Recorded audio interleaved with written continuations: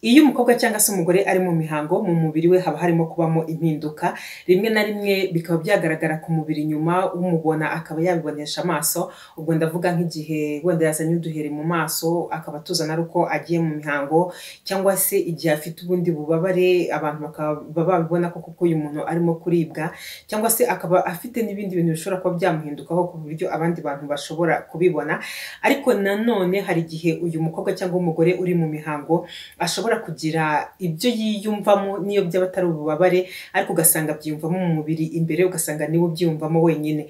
Tuvuge urugero niba yumva amabere yamuremereye cyane ibyo ngibyo ni ibintu abandi badashobora kubonesha amaso ariko we aba arimo kubyumva cyangwa se ashobora no kugira ibindi yiyumvamo abandi batabona ariko we akabyiyumvamo. Hari rero n'abajya mu mihango bakababara mu nda bakababara umugongo cyangwa se bakagira n'iseseme hari abo ibyo ngibyo biba byinshi cyane cyangwa se bibababaza ku rugero runini cyane ugasanga ndetse niba ari akazi ntabasha kukajyaho cyangwa se niba ari amasomo ntabwo abasha kuyajyaho. Ariko inkuru nziza ni uko hari amafunguro uyu mukobwa cyangwa se umugore ashobora gufata hanyuma aya mafunguro akaba yamworohereza bigatuma ubwo buribwe busa naho bugabanyuka bityo akagerageza kugubwa neza cyangwa se ndetse akaba yanagubwa neza cyane. Ayo mafunguro rero niyo dushaka kugarukaho uyu munsi. Ariko ntabwo tuza kugaruka ku bantu baribwa mu mihango gusa ahubwo nawe ushobora kuba utaribwa wowe ujya mu mihango ukabona ni ibintu bisanzwe ukabona nta kintu na kimwe cyaguhindutseho nawe iyi videwo irakureba kubera ko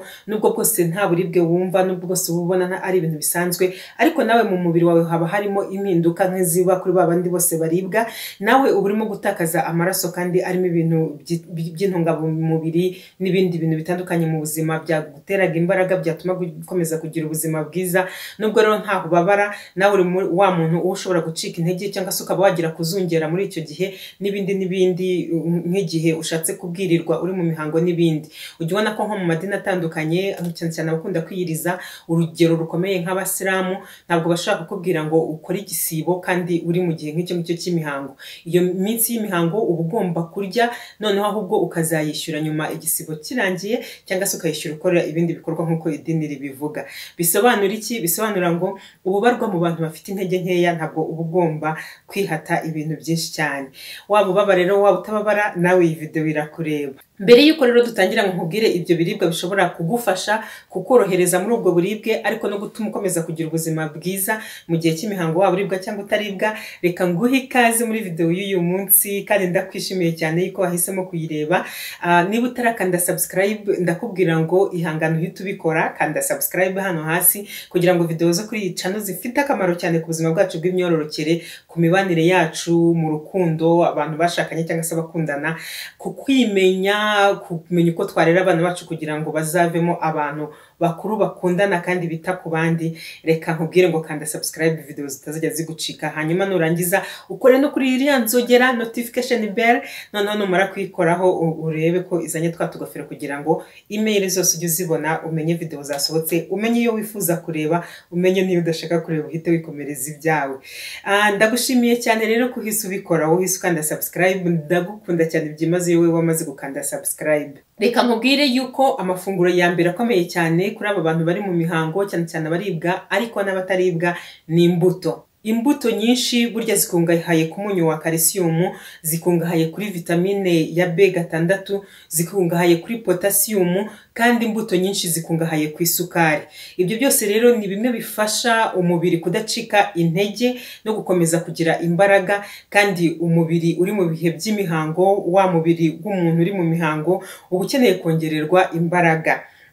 Hanyuma hari ubunyobwa. Ubunyobwa buriya bwifitemo fibre kandi bukungahaye kuri poroteyine bufasha rero mu gutembereza neza isukari mu mubiri bigatera umuntu kutaribwa mu nda igihe ari mu mihango cyangwa se bikaba byamugabanyiriza cyane bwa bubabare bisobanura ngo ifunguro ryawe mu gihe uri mu mihango ukose ku buryo buri munsi buri munsi uba washyizemo nk'ifu y'ubunyobwa cyangwa se niba utanashyizemo ifu y'ubunyobwa bwa bunyobwa ukabugura ukabuhekenya niba wibutse gufata ku mboga n'imbuto zitandukanye bitandukanye icyo gihe urimo urabikora neza. Ariko ntabwo ari ibyo gusa mu gihe uri mu mihango ibande ku mboga rwatsi.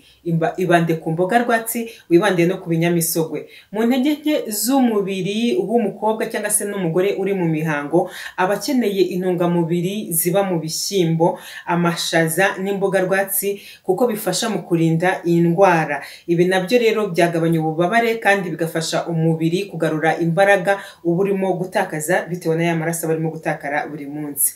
Hanyuma amafi ariko nyafatanyirize hamwe n'inyama zitukura. Donc wabuze amafi ukagerageza kurya ku nyama zitukura ah, nubwo bwose mu bihe bisanzwe bakubwira ngo zigabanye ariko muri kiriya gihe uri mu mihango byaba byiza kuzifata niba utari umu vegetarian ibi rero byombi byongera imbaraga mu mubiri kandi bifasha mu kongera amaraso. Ni byiza rero kuri wa muntu uri mu mihango kuko aba arimo gutakaza amaraso bityo rero aba akeneye kongera andi mu mubiri. Mu gihe rero uri mu mihango reka nkubwire ngo ni byiza cyane kwirinda amavuta menshi kuko amavuta afasha umubiri kuvubura umusemburo wa estrogen kandi uyu musemburo wa estrogen iyo wiyongereye mu gihe uri mu mihango na byo biri mu bintu bishobora kukongerera ububabare cyane cyane yuko mu bijyanye na cycle yawe cyangwa se ukwezi kwawe k'umugore ubusanzwe uyu musemburo wa estrogen mu gihe cyo mu mihango uba wagabanyutse wabaye muke cyane. Haramutse rero hagize ibintu biwongera ntabwo byaba ari byiza. Ni byiza kandi kwirinda ibintu birimo kafeyine muri icyo gihe bivuga ngo niba ukunda agakawa cyane byaba byiza yuko mu gihe uri mu mihango ukaretse cyangwa se ugafata gake cyane ugereranyije n'iyo wafataga n'ibindi bintu birimo kafeyine hari inzoga zitandukanye ziba zirimo kafeyine ntarinze kurirwa mvuga amazina nawe uba ushobora kureba ureba ibigize inzoga ukunda kunywa cyangwa se n'ibindi binyobwa ukunda kunywa bitandukanye hari n'ibidasembuye na byo bi- bishobora kuba bifite kafeyine ariko noneho ntabwo ari ibiribwa gusa ntabwo ari ibinyobwa gusa hari n'ibiribwa ushobora gusanga byifitemo kafeyine ibyo biribwa rero cyangwa se ibinyobwa byifitemo kafeyine uramutse ubikunda cyane mu gihe uri mu mihango kandi mu mihango ukaba uzi yuko ubabara byaba byiza kuba ubigabanyije byaba byiza kubyirinda. Ibyo rero ni bimwe mu byo ukwiriye gufata mu gihe uri mu mihango cyane cyane niba iyo uri mu mihango ubabara hanyuma ukareba ko byakugabanyiriza ubwo bubabare.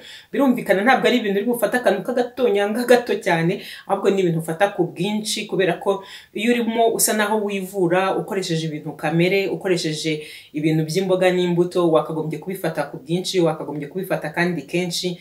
Ntabwo ari ukuvuga ngo ni ugufata dukeya nk'ufata ikinini. Kora ku buryo rero buri munsi mu wenda saa sita na nijoro cyangwa se mu gitondo na nimugoroba uba wafashe imbuto zitandukanye ugenda uzihindura kandi ukore ku buryo mu biryo uri burye washyizemo bwa bunyobwa wenda wabushyizemo nk'ifu ah, kugira ngo ukore isosi y'ubunyobwa se cyangwa se mo kimwe wabuguza urabuhekenya bikore uburyo buri munsi kandi uburyo buhagije.